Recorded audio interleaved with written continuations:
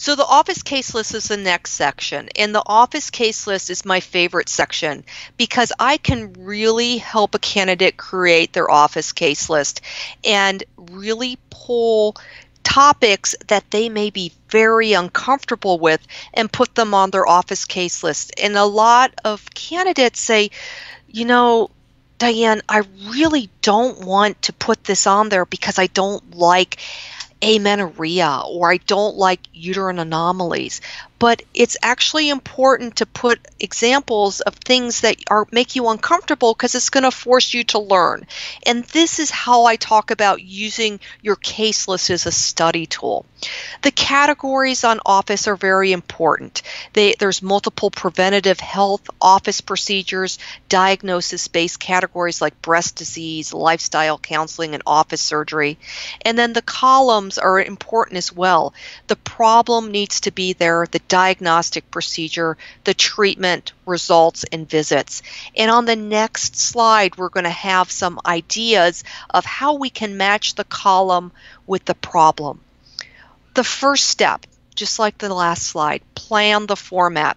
So when you have a column and say you're seeing someone with a breast mass, yes, they could have come in for their well visit exam, but you put them in the category of breast problem. You don't need to write all the lipid counseling, the abnormal lipid test, and everything else that you did during the wellness exam. You need to focus on the breast problem, and you can extract that information and put it in that category.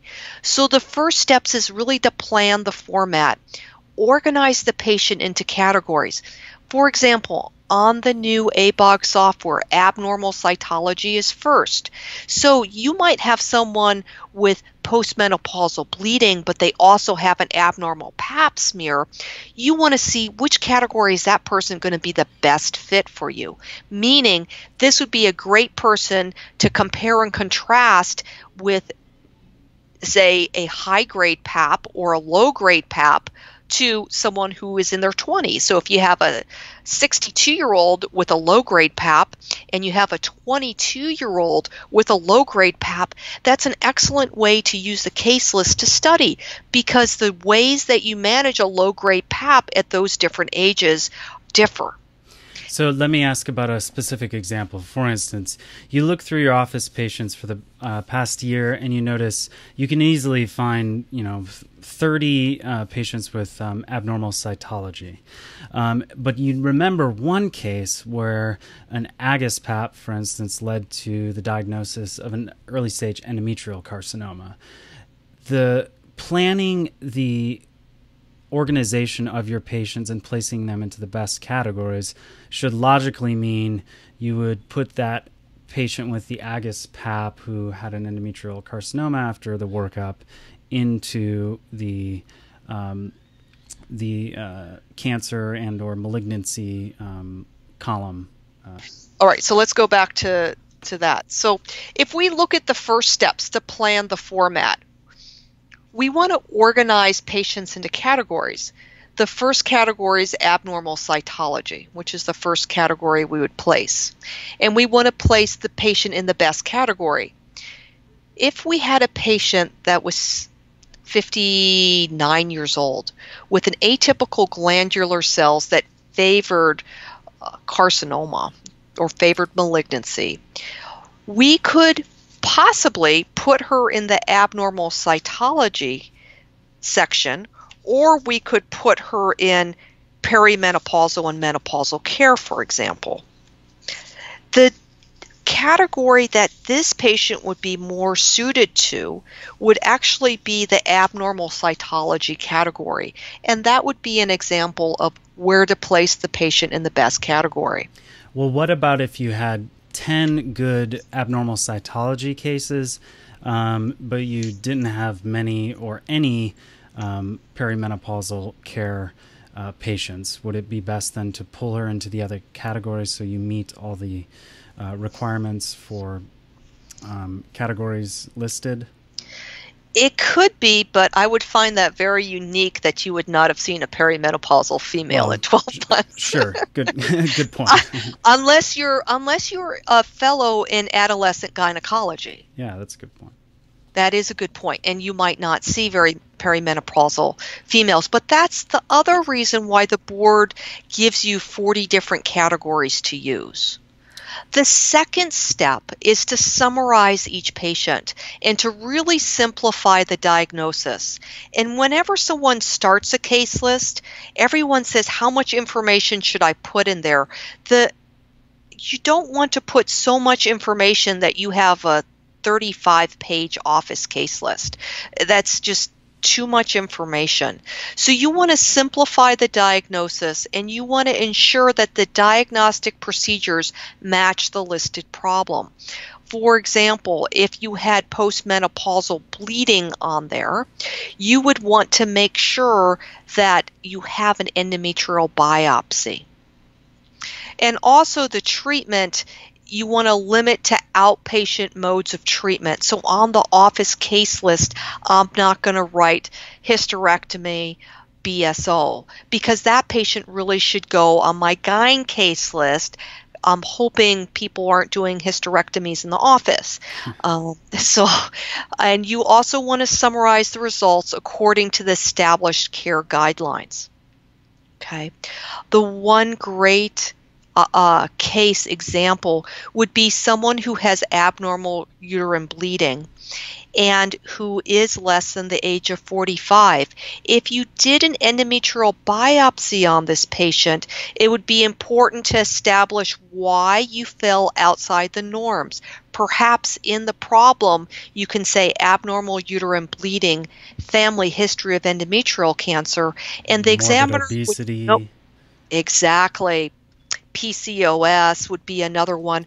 Or even if you failed medical management, that might be another reason. Um, or if you had an atypical glandular pap, uh, might be a reason as well. Summarizing the results according to the established guidelines is important. And then the third steps, like before, is to think like an examiner. Looking at this case, have I demonstrated the standard of care? What further questions does each case raise? And we're going to go into that in a little bit. So here is an office case list, and here is uh, abnormal cytology, colposcopy, and CIN. And as you can see, this is great because you have a high grade cervical cytology and um, you have an ASCUS high risk positive, and you have two different uh, treatment expectations on here. The first one is expected management, and the second one would be a LEEP. And so if we look, um, what I've added for this is actually for the first case is to let them know that I'm going to do serial PAP surveillance. And the second case here, I really it would help me to know if this was a high grade PAP. Now, one thing that we need to establish is that you have to get approved ABOG guidelines when and abbreviations when you're doing the case list, and that's going to be important. Okay. Um, a lot of people will say, why can't I, why should I just write PAP in one year? You can, or you can write serial PAP surveillance and uh, let the examiner ask you that. The second thing we can see here in case three, it says right ovarian cyst, and you can see on diagnostic procedures how it says 3.5 centimeter cyst. Um, one thing I like to do in the problem is actually to say how big the cyst was. It makes it a little easier, I think, for the examiner to really see that.